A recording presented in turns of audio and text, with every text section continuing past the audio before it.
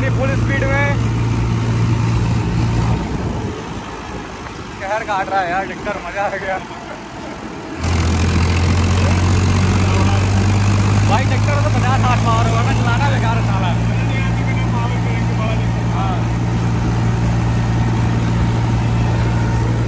आज मौसम भी बड़ा मस्त है यार।